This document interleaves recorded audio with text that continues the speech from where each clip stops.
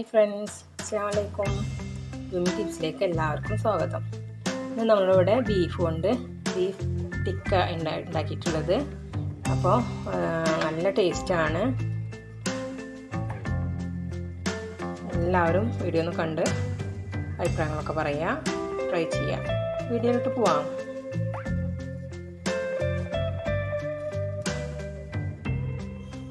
അപ്പോൾ നമ്മൾ ബീഫ് ടിക്ക ഉണ്ടാക്കാൻ വേണ്ടിയിട്ട് കുറച്ച് ബീഫ് എടുത്തിട്ടുണ്ട്. ബീഫ് അതിനായിട്ട് വാങ്ങിയതൊന്നല്ല നമ്മൾ കറി വെക്കാൻ വേണ്ടി വാങ്ങിയപ്പോൾ അതിൽ നിന്ന് കുറച്ച് മാറ്റി വെച്ചതാണ്. അപ്പോൾ അത് വെച്ചിട്ടാണ് നമ്മളിവിടെ ചെയ്യുന്നത്. അപ്പോൾ അധികം വലിയ പീസല്ല ഒരു ചെറിയ നമ്മൾ കറിക്ക് വേണ്ടി വെട്ടിയിട്ടുള്ള പീസ് ആയതുകൊണ്ട് അധികം വലിയ പീസല്ല കേട്ടോ അപ്പോൾ നമ്മൾ ടിക്ക ഉണ്ടാക്കാനായിട്ട് അതിനെ കറക്റ്റായിട്ട് കുറച്ച് വലിയ പീസാക്കിയിട്ട് മുറിക്കുകയാണെങ്കിൽ നല്ലതാണ് പിന്നെ നമുക്ക് ഇതിലേക്ക് ആവശ്യമുള്ളത്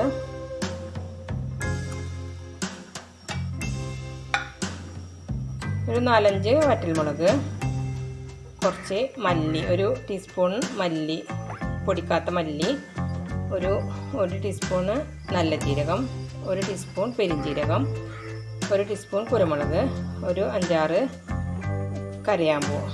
ഇതെല്ലാം കൂടെ ഒന്ന് വറുത്ത് പൊടിച്ചെടുക്കണം. ചട്ടി വെച്ചിട്ടുണ്ട്. അതിലോട്ട് എല്ലാം കൂടെ ഇട്ടിട്ടൊന്ന് വറുത്തെടുക്കാം.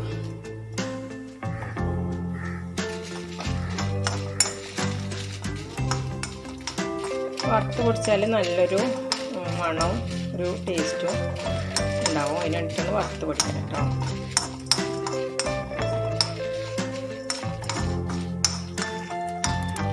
ഇതൊന്ന് വറവായിട്ടുണ്ട് നമുക്കിനെ അടുപ്പ് ഓഫ് ചെയ്യാം. ഇതൊന്ന് പൊടിച്ചെടുത്തിട്ട് വരാം.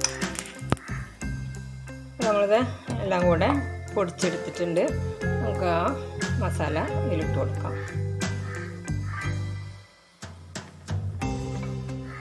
പിന്നെ നമുക്ക് വേണ്ടത് ഒരു കഷ്ണം ഇഞ്ചി കുറച്ച് വെളുത്തുള്ളി മല്ലിയില കുറച്ച് വേപ്പില ചെറുനാരങ്ങ. നമുക്ക് ഈ ചെറുനാരങ്ങ ഒഴിച്ച് ബാക്കിയുള്ളതൊക്കെ ഒന്ന് അരച്ച് പേസ്റ്റ് എടു പേസ്റ്റ് ആക്കി എടുക്കാം. പക്ഷേ രണ്ട് പച്ചമുളക് കൂടി വേണം കേട്ടോ. ആ പച്ചമുളക് എടുക്കാൻ മറന്നത് നമ്മൾ വീട്ടിലുണ്ടായ മുളക് തന്നെയാണ് കേട്ടോ. അപ്പോൾ ഒരു നാലഞ്ച് നല്ല എരിവുണ്ട്. അപ്പോൾ ഒരു നാലഞ്ചും പച്ചമുളക് എടുത്തിട്ടുണ്ട്. അപ്പോൾ നമുക്ക് നാരങ്ങ മാറ്റി വെച്ചിട്ട് ഇതൊക്കെ ഒന്ന് അരച്ച് പേസ്റ്റ് ആക്കിയിട്ട് വരാം. അപ്പോൾ നമ്മൾ അതും കൂടെ അരച്ച് പേസ്റ്റ് ആക്കി എടുത്തിട്ടുണ്ട്. അത് നമുക്കിതിൽ ചേർത്ത് കൊടുക്കാം.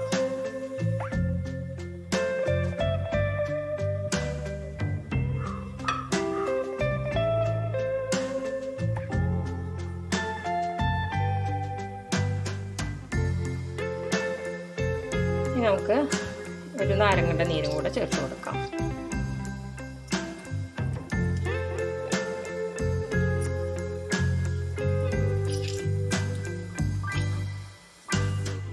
പിന്നെ നമുക്ക് വേണ്ടത് കുറച്ച് മുളക് പൊടി. ഒരു രണ്ട് ടീസ്പൂൺ മുളക് പൊടി. അതുപോലെ തന്നെ ഒരു രണ്ട് ടീസ്പൂൺ കാശ്മീരി മുളക് പൊടിയും കൂടെ ചേർക്കുന്നുണ്ട്. പിന്നെ കുറച്ച് ഒരു ഒരു ടീസ്പൂണോളം ഒരു ഒരു ടീസ്പൂണോളം മഞ്ഞൾപ്പൊടി.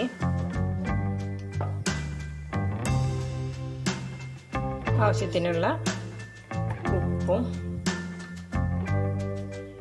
ഒരു രണ്ട് കയ്യിലോളം തൈരും കൂടെ ചേർത്ത് കൊടുക്കാം. ഇത് നമ്മൾ വീട്ടിലുണ്ടാക്കിയ തൈരാട്ടോ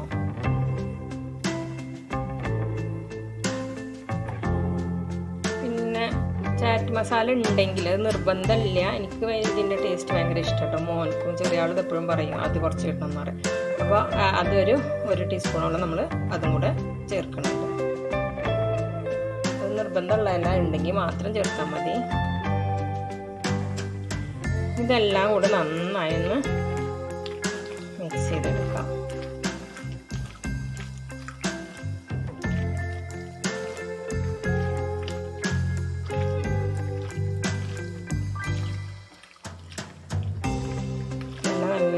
ഒക്കെ വരുന്നുണ്ട് കേട്ടോ മസാലക്കൊക്കെ.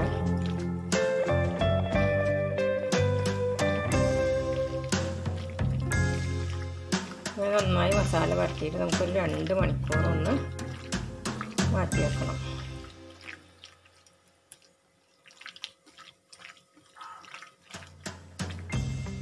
നല്ലോണം മസാല പിടിക്കുന്ന തരത്തിൽ എല്ലാവർക്കും ഉണ്ടാക്കിയെടുക്കാം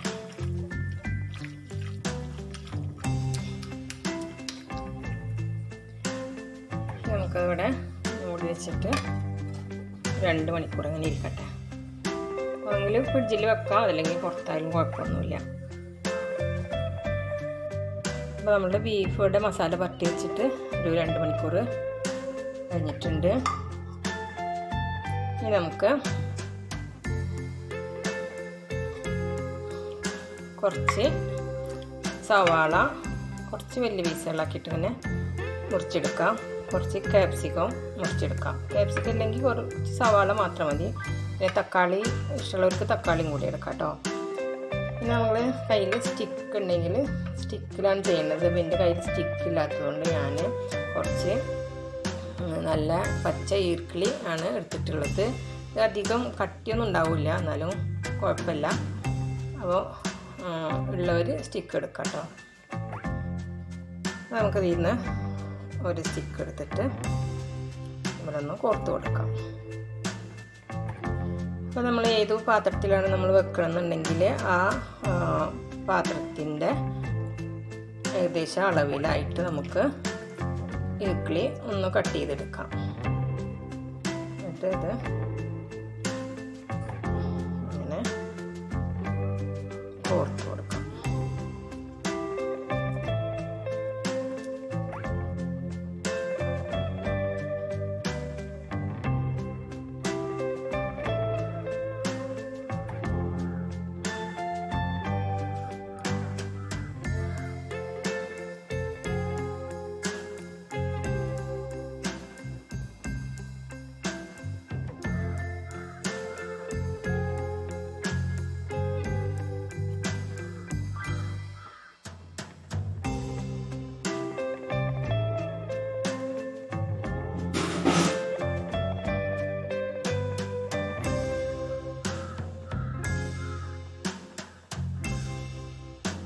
ഇതുപോലെ നമുക്കിതൊന്ന് ഫുള്ളായിട്ടും കോർത്തെടുക്കാം.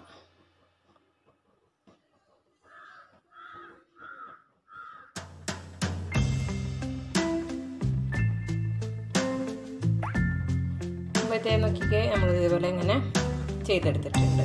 അപ്പോൾ ബാക്കിയുള്ളതൊക്കെ നമുക്ക് ഇതേപോലെ കോർത്തെടുക്കാം. അപ്പോൾ ഇതേ നോക്കിയാൽ നമ്മളിതോടെ ഒരു നാലഞ്ചെണ്ണം ചെയ്തെടുത്തിട്ടുണ്ട്. ബാക്കിയുള്ളത് പോലെ മോൻ ചെയ്തുകൊണ്ടിരിക്കുന്നുണ്ട്. അപ്പോൾ നമുക്കിതൊന്ന് അടുപ്പത്ത് വെക്കാം. അപ്പോൾ നമ്മൾ ഓവണിലൊന്നല്ല വെക്കണത്? ഒരു ഫ്രൈ പാനിന്റെ ഒരു ചട്ടിയിലാണ് വെക്കുന്നത് ഓവണിൽ വെക്കുമ്പോൾ നമുക്ക് അതിന്റെ മസാല ഒക്കെ ചിലപ്പോൾ അവനെ ഇറ്റിപ്പോവാൻ സാധ്യതയുണ്ട്. അപ്പോൾ അതുകൊണ്ട് നമ്മൾ ഓവണിൽ വെച്ച് കഴിഞ്ഞാൽ മസാലകളൊക്കെ അതിൽ തന്നെ ഉണ്ടാവും. കുറച്ച് ഓയിലൊന്നും ഒഴിച്ചു കൊടുക്കുന്നുണ്ട് അധികം വേണ്ട കുറച്ച് ഒഴിച്ചാൽ മതി. ഇനി നമുക്കിതിലോട്ട് ഓരോന്നായിട്ട് തന്നെ വെച്ച് കൊടുക്കാം.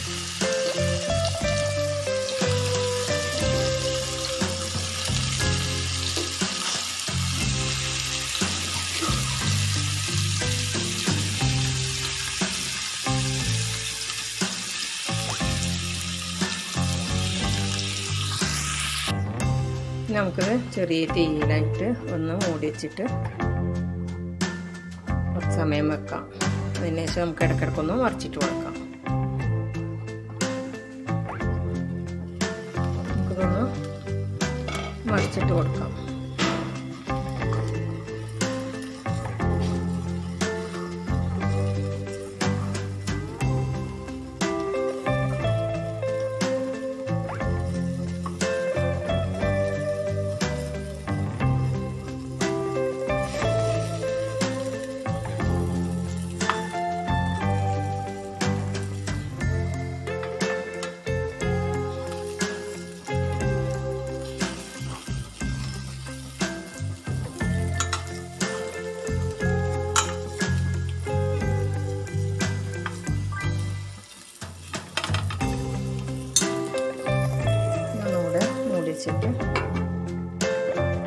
വെച്ചിട്ട് അപ്പുറം മൊരിയുന്ന വരെ ഒന്ന് മൂടി വെച്ചിട്ട് മൊരിയിലേക്ക് എടുക്കാം. അപ്പോൾ നമ്മുടെ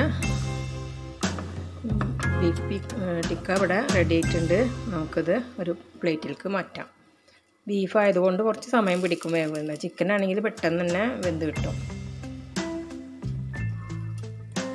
നമ്മളുടെ ഒരു പാത്രത്തിലേക്ക് മാറ്റിയിട്ടുണ്ട്. അപ്പോൾ നല്ല വെന്തിട്ടുണ്ട് സോഫ്റ്റ് ആയിട്ടുണ്ട്. എല്ലാവരും ഇതേപോലെ ഒന്ന് ചെയ്ത് നോക്കാം അഭിപ്രായങ്ങളൊക്കെ പറയുക ലൈക്ക് ചെയ്യുക ഷെയർ ചെയ്യുക സപ്പോർട്ട് ചെയ്യുക സബ്സ്ക്രൈബ് ചെയ്യാത്തക്കൊന്ന് സബ്സ്ക്രൈബ് ചെയ്ത് ഓൾ ബട്ടൺ കൂടി അമർത്തുക. ഇൻഷാല്ല നല്ല വീഡിയോ ആയിട്ട് വരുന്നവരേക്കും എല്ലാവർക്കും. ബൈ